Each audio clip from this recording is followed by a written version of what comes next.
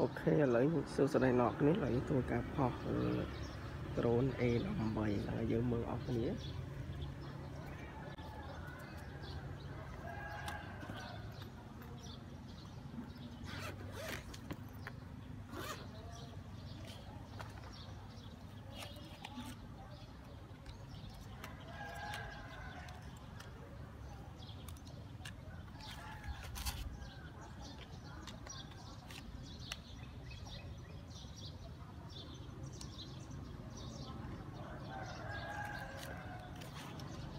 គ្នាបើកដ្រូនហើយចូលទូរស័ព្ទយើងនេះដើម្បីភ្ជាប់ជាមួយដ្រូនយើងចុចផ្លៃ Wi-Fi មកហើយយើងចូលទៅ connect តែដោយសារទូរស័ព្ទយើងធ្លាប់ connect ជាមួយដ្រូនហើយចូលវានៅ connect ឲ្យអូតូចឹងអ្នកនរគ្នាចាំមើលនៅក្នុង screen video ខ្ញុំដាក់នៅក្នុងហ្នឹងដែរសារនេះវាភ្លឺពេកអេក្រង់មើលអត់ឃើញទេអូខេអញ្ចឹងយើង connect ហើយយើងចូលកាន់ទៅកាន់ app តែម្ដងគឺខ្ញុំដាក់មកចូល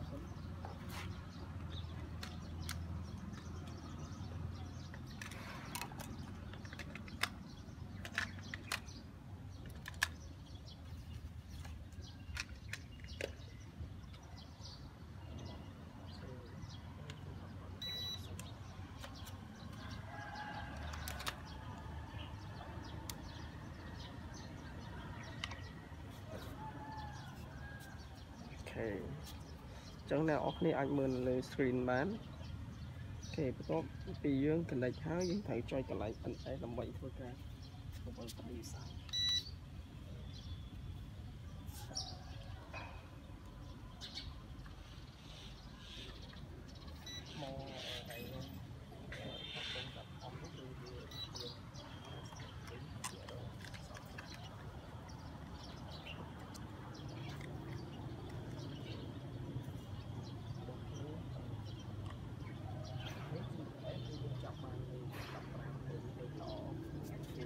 ការផុសបាន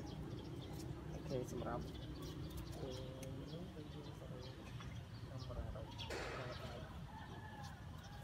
ខ្ញុំថតវីដេអូមួយអូខេហើយខ្ញុំធ្វើការ reset វាមួយមុនធ្វើការខុសហើយអូខេអូខេចឹងខ្ញុំចាប់ផ្ដើមដាក់កាមេរ៉ាត្រង់សិនokay ហើយខ្ញុំទាញចូល stick ចូលក្នុងតាពីសិន okay ហើយខ្ញុំធ្វើការផុសឡើងកណ្ដង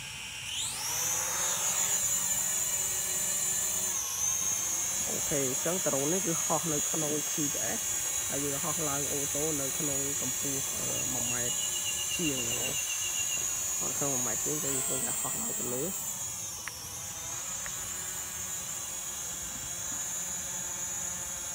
ទេអញ្ចឹងវាហោះក្នុងអឺអ្នកនរគ្នានៅខ្ញុំអូខេអញ្ចឹងហោះឡើងគឺវាហោះឡើងទៅទៀត គឺកន្លែងសតឌីហ្នឹងបានន័យថាចម្ងាយនឹងហើយចាប់កម្ពស់បាន9ម៉ែត្រដែរដែលយកហ៊ានខុសខ្ពស់ដែរដោយសារថ្មវាតិចណាគឺគឺจะហោះទៅមុខតែម្ដងអូខេចម្ងាយវាបាន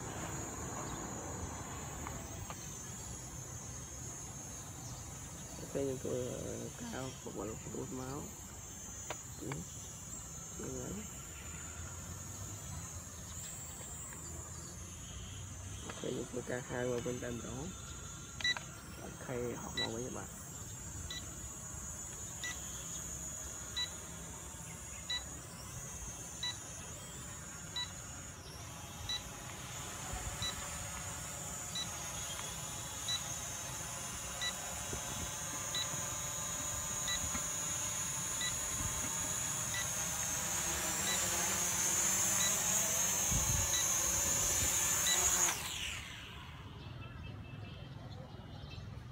ខេអញ្ចឹងធ្វើការតេស្តទៅលើលបឿនតែម្ដងខ្ញុំបោះចុចបតុងឡើងអូតូយើងមិនបាច់ចេះទេភាសាយើងមានឡាយតលីដែរ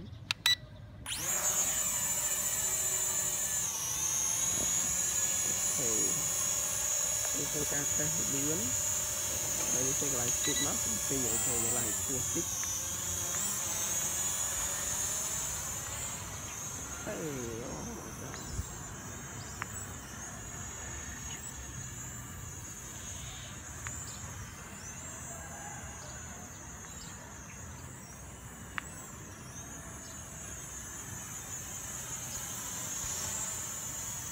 ហើយខេអញ្ចឹងខ្ញុំធ្វើការដាក់លេខ3គឺនេះគឺជាលេខ3លេខ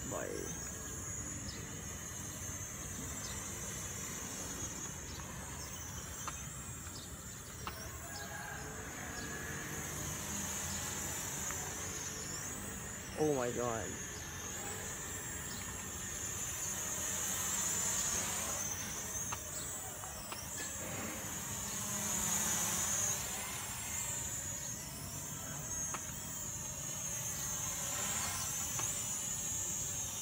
Ok, cháu Dương của ca tê ờ, tại bên đăng tế là xa là lý liên ở ông san ra đến ngày ហើយវាពិបាកក្នុងការជាដែរភាសាមានអង្តែនច្រើនមានដំបូងទេអញ្ចឹងយើងហោះបានឆ្ងាយអឺយើងខ្លាចវាបុកអញ្ចឹងណាថាយើងដឹងស្រាប់ហើយនៅពេលដែលវាហោះឆ្ងាយហើយវាបាំងដើមឈើសំបីតែយើងក៏ពិបាកពីដ្រូនយើងដែរ ហ្នឹងហើយហើយដោយសារនេះថ្មវាតិចដែរហ្នឹងហើយថ្មវាអឺឥឡូវវាចុះដល់សល់ត្រឹមតែ22%ទេខ្ញុំអត់ដែលហ៊ានឲ្យវាហោះឆ្ងាយយើងគ្រាន់តែមើលនៅក្នុងកម្រិតការហោះហើរវាដោយមាន GPS គឺគឺហោះនឹងល្អហ្នឹងហើយឥឡូវនេះ GPS វាចាប់បានលេខ19ហើយ20អាណា19 20គឺល្អហើយឥឡូវធ្វើការហោះទៅឆ្ងាយហើយយើងចូលទៅ turn home okay okay អញ្ចឹងយើងចូល return home មួយ okay អញ្ចឹងវានឹងធ្វើការហោះឡើងជានឹងហើយវានឹងបំបែកក្បាលវិញ okay អញ្ចឹងវាហោះមកវិញហើយនេះធ្វើការដាក់កាមេរ៉ាចុះក្រោមវិញ okay កាមេរ៉ាខាងក្រោមបាទ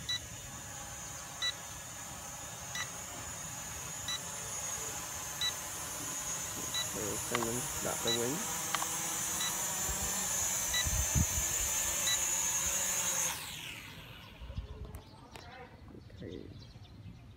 okay អញ្ចឹងសម្រាប់វីដេអូតេស្តនេះគឺមានតែប៉ុណ្្នឹងទេដោយសារយើងទីតាំងយើងវាជ្រៀតហើយនឹងថ្មយើងគឺវានៅតិចហ្នឹងហើយនៅបើសិនជាមានពេលវេលាច្រើនខ្ញុំធ្វើការបង្ហាញការខុសហើវាហើយកម្រិតវាខុសបានប្រហែលម៉ែត្រអញ្ចឹងហ្នឹងហើយសារទីតាំងនេះគឺអត់ឲ្យចំណោយផលលើយើងទេអស់តែច្រើនហ្នឹងហើយអញ្ចឹងសម្រាប់ដ្រូនមាន GPS គឺមាន បញ្ហាច្រើនអញ្ចឹងបើសិនជាអ្នកនរគ្នាមានពេលអាចធ្វើការរកទីតាំងណាយើងកុំឲ្យមានអង្តែនច្រើនដោយសារខ្ញុំអង្តែនអ្នកនរគ្នាឃើញស្រាប់ហើយនេះផងតែថាកាយអីហ្នឹងគឺពាត់ជុំវិញកន្លែងខ្ញុំអស់តែម្ដងអញ្ចឹងវាធ្វើឲ្យមានការពិបាកដល់ក្នុងការហោះហើរអូខេឥឡូវវីដេអូខ្ញុំសូមបញ្ចប់ប៉ុណ្ណឹងអរគុណច្រើនអ្នកនរ